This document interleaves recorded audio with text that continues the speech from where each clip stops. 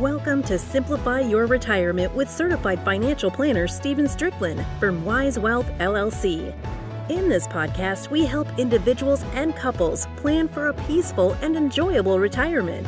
Join us on this journey where we explore the importance of simplifying the retirement planning process. As Stephen, with his years of experience and expertise in retirement income planning, along with guest experts, will help you achieve first wisdom, then wealth. And don't forget to check out the Simplify Your Retirement online course and other great resources at simplifyyourretirement.com.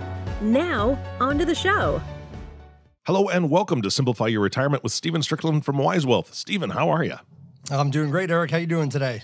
I am doing fantastic. I'm I'm really excited. You've got a guest on the show today. Absolutely. This uh, season two here has been about building on what we talked about in season number one mm-hmm. About simplify your retirement. It's been great to have some guests on, and uh, really excited to have uh, as our guest today someone that some of my clients are familiar with. He's come out here and spoken to uh, my clients a couple years ago here in Kansas City, Tom Hegna, and so uh, we're looking forward to have Tom on the show today. All right, Tom, welcome. Thank you so much for joining us. Uh, I know Stephen's going to be getting into your book, and so I'm just going to sit back and learn. Well, thank you. Thank you for having me today. Absolutely. For those of you who don't know, Tom Hegna is a renowned international economist, author, and speaker. He has written three books, including the best selling Paychecks and Playchecks Retirement Solutions for Life. He has worked in the retirement planning industry for over 30 years. He was at New York Life for a long time. Tom's passion and success for retirement planning and public speaking have led him to be recognized as one of the top speakers in the world by National Speakers Association. Tom is also a veteran. He served over 22 years in the U.S. Army and U.S. Army Reserve, retiring in 2006 as a lieutenant colonel with numerous awards and decorations. And uh, we're so glad, uh, Tom, that you have joined us today on the Simplify Your Retirement podcast. Yeah, looking forward to it. All right. You wrote a book just a couple years ago. Your most recent book is Don't Worry, Retire Happy, a great book, uh, Seven Steps to Retirement Security. And uh, I know a few years ago you came out here to Kansas City. We rented a, a, movie theater and you spoke to us, you spoke to our clients, and it was a great event. We got a lot of great feedback from that uh, that event, and that's why I wanted to have you on the show today, just to remind everybody of these principles. You know, these seven steps. I feel like they are timeless.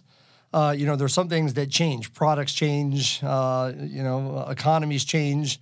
But it seems like the the principles and in, in the seven steps don't really ever change. Yeah, and you know they're based in math and science. So like I don't I, I don't sell any financial products, so I don't like have a horse in the game of whether people buy a product or not. But I what I what I did is I did the research. Um, mm-hmm. PhDs, uh, top PhDs around the world have studied retirement, you know, for decades, and and they write these white papers. And the average person doesn't read a white paper, but I did. I read all these white papers, and I learned a fascinating amount of information about how to retire the optimal way. And that's really what I write about. That's what I speak about. Yeah, and I appreciate that. That's one thing I wanted to ask you about. You you mentioned a lot of times you having an optimal retirement. And what do you mean by an optimal retirement? Well, see, I, I would say the best retirement, but see, nobody knows what's going to be the best. You know, if the Dow mm-hmm. Jones goes to 100,000, we should all put our money in the Dow Jones. If Bitcoin goes to a million bucks, we should all put our mm-hmm. money in Bitcoin. If oil goes to $300 a barrel, we should all put our money in oil. Mm-hmm. Nobody knows what's going to be the best. And so, what math and science does, whenever there's multiple variables, it looks for the optimal solution. And the optimal in plain English is this will be the best more often than mm-hmm. anything else will be the best, and it'll never be the worst. That's optimal. So, it's your best shot at having the best retirement. That's what optimal means. Okay, that's what we're going for. The best shot to have the best retirement. It won't be the worst, but you're trying to look at the research, uh, like you said, look at the math, look at the science, uh, do, and and come up with the best possible solution out of you know several possible solutions. Uh, there's probably more than one way to plan for retirement. Yeah, I mean, there's lots of ways to plan for retirement, but most of them are suboptimal. They're not going to be the best. Uh, mm-hmm. Uh, you know, and too many do-it-yourself investors have blind spots You know, what happens if taxes double, as I think they probably will? What will happen to your retirement? You know, what happens if we have rampant inflation, or what happens if if we continue on a deflationary path? What happens to your retirement then? Uh, you know, what happens um, if the market crashes fifty percent and stays down for for fifteen or twenty years? What would that do to your retirement? And so people have. What if you need long term care? You know, uh, what if you die early? Is your spouse going to be okay? And so so the average do it yourself investor has all kinds of blind spots. They just say, "Oh, I got a portfolio. My portfolio's doing so good." Yeah, and it's doing good while it does good. And then when it goes bad, then you're then then you're in big trouble. And so you've got to not just plan for the good. You've got to plan what happens if bad things happen. Yeah, I think that's great. Uh, I think you're right. A lot of people just have a, you know, they do an asset allocation, they answer a risk profile questionnaire, and they assume based on an asset allocation model, you're going to average a certain rate of return, and it's always going to go up, and it's going to go up, you know, steadily each and every year, consistently. And we just know that's not the way that life works, and so that's not an optimal way to plan for retirement. That's for sure. I like the fact that you talk about in the book, you know, don't worry, retire happy.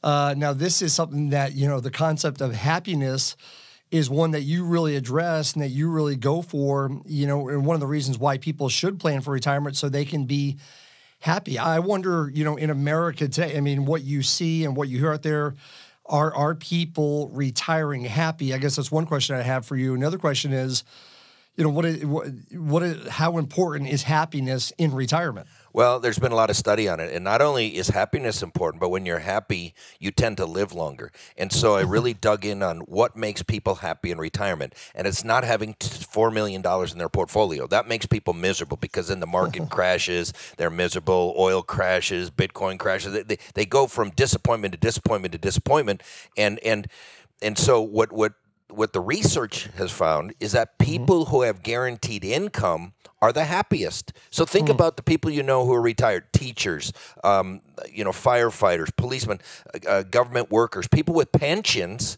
tend to be happier in retirement than people who don't have pensions. And so mm. w- the research has really shown that guaranteed income in retirement is a key part of being happy. And now the research shows people tend to live longer when they when they have mm. guaranteed income and they're happier. So it's not the market going up 12% or 18% or 32%. Yeah, that's this year. What happens, you know, people have no idea. The the Japanese stock market has been down for over 30 years. Oh, the European stock market has been down for over 20 years. Think about all the people over there who said, "Oh, I mm-hmm. got a portfolio, got my broker." And remember in the 80s the Japanese stock market was doing what we're doing. I mean, they were hitting high, high, high, high, high, hitting new mm-hmm. highs all the time. Well, it's been 30 years since that market crashed. It hasn't come back. You know, what would Amazing. happen to people's retirement here if that happened? Absolutely. That would be devastating, especially like you said, if they're planning on living on the income from those, you know, retirement savings in the stock market for that period of time. That would be uh, devastating. I think it would not lead to happiness. And, and you mentioned in your book there is there there's like a new field of study. People are there's happiness research that is going on, and people are studying what makes people happy. And I found it extremely interesting in your book that you talked about, and you just mentioned it, that people in retirement are happy when they know they have a guaranteed lifetime income. They know they don't have to worry about it regardless of what happens in the stock market. They can go on vacation, uh, they can leave and not worry about it. But then also, this actual real connection, this was shocking to me, the real connection between guaranteed lifetime income and not just happiness, but living longer. That's Yeah, I amazing mean, to me.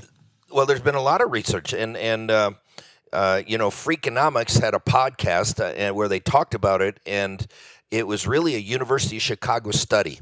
And it mm-hmm. studied people who bought these lifetime income annuities versus people who didn't. And what they mm-hmm. found is that the people who bought the lifetime income annuities lived longer. They tended to have less stress. They worried less. And then um, there was an attorney, Patrick mm-hmm. Tricker, who wrote an article two years ago in the Journal for Financial Service Professionals, and he found that a 65 year old male who purchases a life annuity can expect to live about 20% longer than a 65 year old male who does not. And and when you're being paid to live, guess what? Many people choose to live differently. They watch what they eat, they exercise, they call the doctor when they're not feeling well, they don't have the stress, they don't have the worry.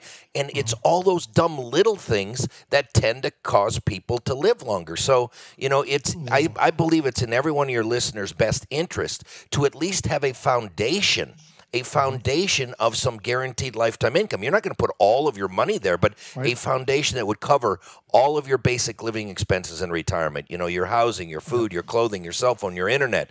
Mm-hmm. Um, and so that, that's just what the research shows. Again, I don't sell any of these products. I don't care if Right. people buy them or not, but the research shows that you should. Absolutely, and that's what I love about that. Uh, you mentioned, you know, covering your basic needs, and I know we're going to get into that. That's one of the seven steps, and you know, we look at it from a standpoint of there's living expenses and there's lifestyle expenses. Uh, we we really recommend and encourage everyone to at least guarantee their living expenses in retirement. You shouldn't have to worry about whether or not you know the electric bill is going to be paid, food's going to be on the table, insurance uh, premiums are going to be paid. Some people want to guarantee their lifestyle expenses too, and that's fine. But at, uh, uh, at a bare minimum, we want people to cover their living expenses in retirement, which is a whole nother matter, making sure that uh, you understand what those expenses are. But I love this connection uh, between, you know, being paid to live. Uh, you know, people want to live longer because they know if they die, they're going to miss out on the next monthly paycheck that's coming in.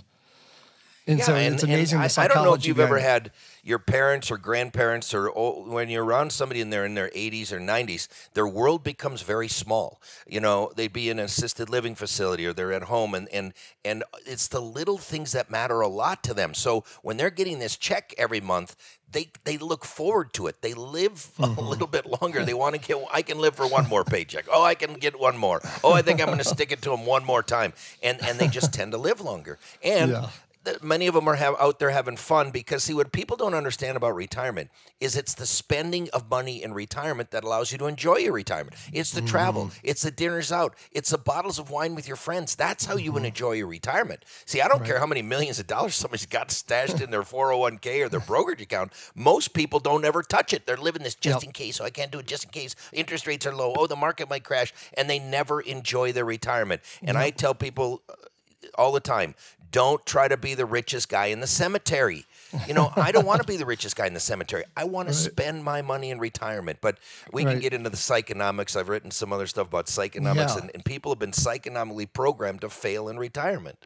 I agree, and uh, that's so good. I, I know you've talked about before where people just, you know, they hoard it, they save it. You know, they're saving one of these days their whole life. They're going to keep it so that they can, you know, buy the boat, go to the golf club, and all these things. And then all of a sudden, I guess they give it to their kids, and then their kids buy the boat and join the golf club and do all the things they wanted to do when they retired. Yeah, I mean, you know, you're not getting any younger. You don't get to take any of it with you. And Yes. and when we talk about life insurance, I'll teach people how to get the most for the least in retirement because Mm-hmm. that's you see, there's no dress rehearsal. We don't get to do it again. And so Mm-hmm. if you learn some very simple steps, you can get the most for the least out of retirement. And it's not about Mm-hmm. having it all in the market. It's not about all these other things. There are certain steps you need to take that will allow you to be happier and much more Mm-hmm. successful in retirement and probably live longer. Absolutely. Well, uh, Tom, that leads us right into your seven steps where we've talked about uh, happiness right now. We've talked about having an optimal retirement, and uh, you gave us seven steps in this book about how to how to make sure you plan for a happy retirement, hopefully a longer retirement. And uh, the first step is making sure that uh, you have a plan. And so, Yeah, uh, I- you know, I- yeah. I, I always tell people, how can you get anywhere if you don't have a roadmap or some GPS to sh- tell you where to go? And so, eh, you know, step number one of anything is you got to have a plan. And then I say in there, you need to work with a financial professional. Mm-hmm. Retirement is not a do it yourself project. I've written five books now, three in America, two in Canada, on retirement. I've spoken all over the world on retirement. But mm-hmm. you know what? I use a financial professional too. You know why? Mm-hmm. Because I can't do it by myself. I know what I need, but there's a thousand products out there. And and I don't know which one of those thousand is best, and they change as you know every two weeks. They they something changes, something goes up, something goes down, and I need somebody that can scan that marketplace. And now there's software that can help this advisor do that, but they can scan the marketplace and narrow those thousands of products down to two or three that will fit exactly what I'm looking for at that time. And uh, you know, a lot of people say, well, uh, they just don't have time. Uh, they don't have time to put together a retirement income plan. What do you say to them? Well, you're not going to have a very fun retirement. I mean, look, what, what's more important than planning 30 or 40 years of your life. You know, people spend more time planning their summer vacation than they do doing some of these things that they need to do. So, so it doesn't take long to plan. If you're working with a good financial professional, I believe they'll make it very simple for you. They have software, they can print you out graphs, charts, they can make projections based on what you think is going to happen, and they can worst case it. And that's the best thing. A good financial professional will put your plan under a stress test. I, I mm-hmm. just did a video and I said, look, if you're a do-it-yourself investor and you think you're so smart, then bring your smart plan into a financial professional. Let them put it on a stress test. How will your plan function if taxes double? How will your plan function if the market crashes 50% and stays down for 15 years? How will it how will it uh, function if uh, inflation goes to four or five percent? Now I don't see inflation, but but it, it could. What would happen to your plan if you needed long term care? What would happen if you became disabled before you were able to uh, finish your plan? What would happen to your family if you died too soon? So that's what a financial professional does. Is they're going to put it under a stress test. We all know we can succeed if the market goes up 30% every year. Oh, yeah, life would be fun. It'd be easy. It's mm-hmm. not that way. And, and Right. and you know, there's too much funny money being pumped into this market that you're Yes. raising an entire generation of kids now who think that the market goes up 20 or 30 percent every year. Well, it does when you're pumping trillions of dollars in there, but we can't do that indefinitely. And when that happens, and it's going to happen right when a bunch of baby boomers are entering retirement, and that market crashes, then what are people going to do? Absolutely. Well, uh, for uh, for those of you who are just joining us on the Simplify Retirement podcast, we're, we're being joined by Tom Hegna, uh, renowned speaker and author and researcher on uh, uh, money and finance and retirement planning. And uh, for those of you who have who, have stumbled across our podcast maybe for the first time today, I do want to let you know that uh, we have uh, several podcasts that we've already recorded in the past where we go into detail about how we do planning. And what Tom is saying is extremely important. You, we don't start with the products, we don't start with the investments. You start with a plan. That's the foundation of any, you know, peaceful and enjoyable retirement is making sure that you have a foundation, making sure you have a plan. And that plan, a retirement plan is not just simply answering the questions on a risk profile questionnaire. Uh, a retirement income plan focuses on what Tom just mentioned, and that is making sure you understand all the risk associated with retirement income and retirement. There's a different set of risks that goes into when you're retired than before you retired. So it's very important that your plan addresses all of the concerns, risk challenges that retirees face. That's one. The second thing is when you're looking at retirement planning, uh, we're looking at you know what does retirement look like to you and how much is that going to cost? It really comes down to figuring out your income need in retirement and making sure that we can uh, figure out a way to guarantee that uh, if possible and, and make sure you have a peaceful and enjoyable retirement. So those are the elements of a plan. So tom you talked about that. That's number one. If someone wants to have a happy retirement they can't just wing it like you said. They can't just say i'm going to go with the flow. Asset allocation diversification has always worked. It got me to this point. So i'm just going to keep doing that i'm going to tinker with the asset allocation and we're just going to keep going forward we know that there's more to it than that and like you said it's important to talk with a financial planner the second step you talk about is after you have a plan making sure that you maximize social security and uh, you know, what would you say to people about Social Security, the state of Social Security right now, and what's the best way to maximize their benefits? Well, I mean, Social Security is still the main game in retirement. I mean, uh, let me just give you some facts. Um, among elderly Social Security beneficiaries, 50% of married couples, 70% of unmarried uh, people receive 50% or more of their income from Social Security. And 21% of marrieds and 45% of singles, it, it, it counts for more than 90% of their income in retirement. And that's crazy because Social Security was never set up to be the major source of income. It's there to, to, to, to be a supplement, to give you a little bit extra. It was never meant to be enough to, to give you a full retirement.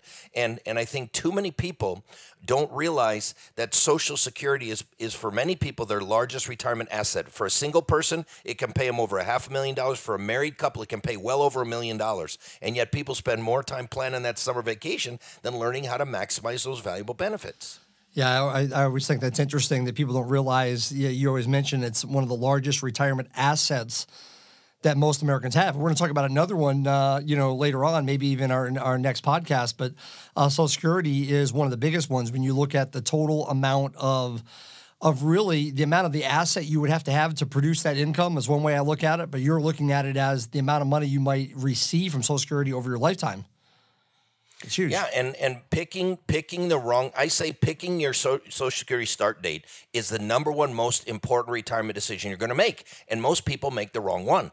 You know, they listen to their buddies at the coffee shop and and that tell them, "Oh, take it out at 62." Well, that's not the way to maximize your Social Security benefit. Now, I can give you some specific reasons why some specific people should take it early. I mean, if both the husband and wife, if their health is terrible, or if there's minor children in the house, or there are some reasons why people might take it early. But in general, the breadwinner should delay. So if you have a husband a wife, and let's say the husband made more money in his career than the wife, the wife can take her benefit early. So the lower earning spouse, whoever that is, they can claim early. I don't have a problem with that. But the higher earning spouse should delay till 66 or 70 if they can. Why? Because that check covers both lives. See, when he dies, which check does she get? She gets his. If he took his early, he locked her into a lower survivor benefit. Because that breadwinner's check covers both lives, you know, in general, the breadwinner should delay. There you go. That's great advice. The breadwinner, the higher income uh, earner, if there's a married couple, should delay as long as possible, at least till full retirement age, is what Tom is saying. And if not, uh, it, ideally, even if you're going to wait till 70 uh, because the survivor, one person passes away, the surviving spouse gets the higher of the two Social Security. So, just in general, especially if someone's working, uh, you would just say, you know, ideally, if at all possible, just keep delaying benefits as long as you can. Well, here's the deal. People say, well, what if I die? What if I die? What if I die? And then they keep all my money. I'm going to start it. Eh, you know, here's the deal the life expectancy today for a 65 year old couple is age 93. So that means one of the mm. husband or wife is going to, uh, 50% uh, of the couples out there will live to be 93. 25% mm. of hmm. those couples will have somebody live to be 97.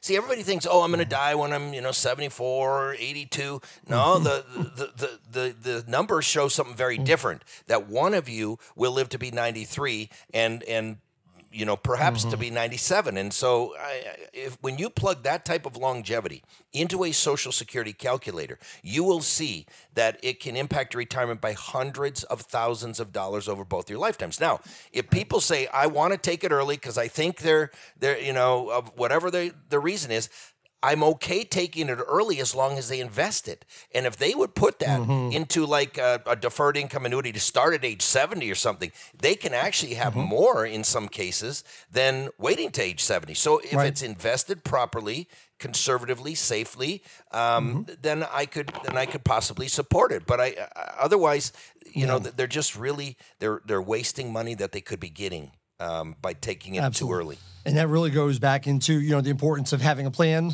Uh, that's why we start with that first, and then looking at Social Security. We always tell people don't make any investment decisions outside the context of a plan, even the Social Security timing decision.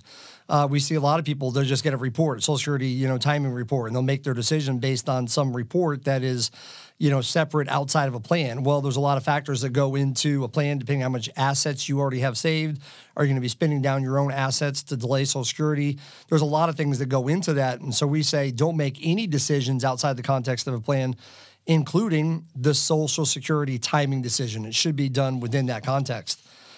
And uh, yeah, I like what you say, and, and, that is that most people don't really think about, you know, when they get ready to retire. Let's say they retire at 65, they're going to one one of the two, if if they're married, is probably going to live 25 to 30 years in retirement. And, that, and, that's a lot of monthly checks that need to come in for a long time. Yeah. And to the people who think that Social Security isn't going to be there, let me be clear Social Security is going to be there. They're not going to uh, eliminate Social Security for all these millions of Americans. That's not going to happen. And Social Security is really not the problem. I could fix Social Security in less than 15 minutes for the next 100 years. Social Security is an easy fix. They're going to have to raise the retirement age on younger people, they're going to have to raise some mm-hmm. amount of taxes. But Social Security is an easy fix it's Medicare and Medicaid that mm-hmm. is I can't fix it, and I don't think the government can fix it either. I'm waiting for Amazon or Walmart or Apple. No. I think I think I think one of those companies will figure out Medicare and Medicaid before the government does. But that is the big problem. That is the that is the big so black you, hole that's out there. So you're not worried about 2034. We've been reading these reports for or reports forever. 2034, that's when there's going to be more people being, you know, paid Social Security benefits than the government's receiving. They could fix it. I could if if, if I had the edict to fix it, I would fix it in less than 15 minutes for the next 100 years and Right. it wouldn't even be that painful. Yeah, you'd have a couple more bucks coming out of your paycheck every week, but it wouldn't be it wouldn't I'm not like saying, you know, you don't have to triple it or Yeah. anything. You just have to raise it a little bit, Right. percent here. You got to raise the retirement age. My dad got it at 65. I don't get it till I'm 67. Is my Right. 19 year old daughter shouldn't get it till she's 70. Her kids shouldn't get it till they're 74. Yes. People are living longer. We got to Yeah. realize that. Right. And that was the whole point of Social Security from the beginning. Uh, they never expected to pay people 30 years uh, in retirement. That's right. So, uh, step number three, we say first have a plan. Second, you maximize your Social Security benefits. Number three, uh, maybe consider a hybrid retirement. What do you mean by that? Well, don't just go cold turkey into retirement. Do do a hybrid. You know, find something that you like to do and work for a couple of extra years, even part time. But but if you can bring in some extra money, uh, it's going to increase your retirement significantly because it, you, you'll have increased earnings, increased savings. You can increase your Social Security benefits, and it keeps you from tapping into your portfolio for a couple years. You know, there was an article published about two years ago in Think Advisor, uh, and it said uh, retirement savings mind blower. And, and here's what it says There's no saving you could possibly do that would affect your retirement resources as dramatically. You can change your savings rate from 6% mm-hmm. percent to 26%, and it still it's doing have as much power as working a few extra years. And if you hmm. save 1% more for your final 10 years of work, that would be the equivalent to working about one month longer. See, there's very little hmm. a person can do to help their retirement more than to work for a couple of extra years. That is a huge statement. Uh, there's so many ramifications to working one year longer, two years longer. It's one or two years of not drawing down your assets. It's one or two years of delaying Social Security. I cannot imagine the impact that has. It like you just mentioned, a massive impact on the on the other end. Um, and even like you said, you may be at a place in your life where you feel like you just you need to stop, you need to do something different, and so maybe it's it's a part time, uh, you know, retirement. It's not full cold turkey. I'm done working. I'm now I'm going to start living on my assets and Social Security. Maybe you do something like you mentioned in the book, you know, a, a hobby, something that you enjoy, and and getting some part time income. And I'm sure that's related to happiness in some way too. It is, and I I, I, I did a trial retirement last summer because I didn't know. Like my whole family doesn't believe I can retire because I've been going for 30 years at 200 days a year on the road. And I said, well, I'm going to take a trial retirement. So I for three months I blocked off my calendar, didn't travel, I, and I and I joined a country club up in Flagstaff, Arizona, played golf, loved it, and so I did it again this this last summer. And I'm uh, and now I'm kind of easing into retirement, and so I'm still doing things like this, but I'm not going to be spending 200 days a year on the road anymore. I'm not. This is my new normal. If it's not virtual, I'm not doing it. And and uh, and I'm going right into retirement with everybody else. That's awesome. Uh, you're you're living proof. you're putting to practice what you're telling other people you've done. And I and I do know because I've heard you speak and uh, we've we've met and talked together that what you're talking about in this book. Uh, not only are you, you you you don't sell these products, you just have done the research and you believe in them. Not only that, but you're actually you followed these steps. It's not like hey, you know, I'm prescribing this for everybody else. This is what everyone else needs to do. You're actually doing it, and uh, you're living proof, and you can give us that uh, you know that perspective, which is really great. One last thing I want to talk about in today's podcast, and I appreciate the fact that you have joined us, and we're going to have Tom with us for this podcast and the next one. So I know you won't want to miss that, but I want to get through step number four in this podcast today, and then we'll continue on in the next one. But the fourth thing you talked about, just you know, quickly, Tom, is about inflation, making sure that you protect your savings account from inflation. What are your thoughts on inflation, and uh, especially for retirees? Why is it such a, a bigger deal than it is before you retire? Yeah, so I'm an economist. I put out my economic commentary every year, and, and I, I really don't see inflation. And a lot of people are saying it because we print all this money and we and we've spent all this money, and there's going to be rampant inflation. I don't see it.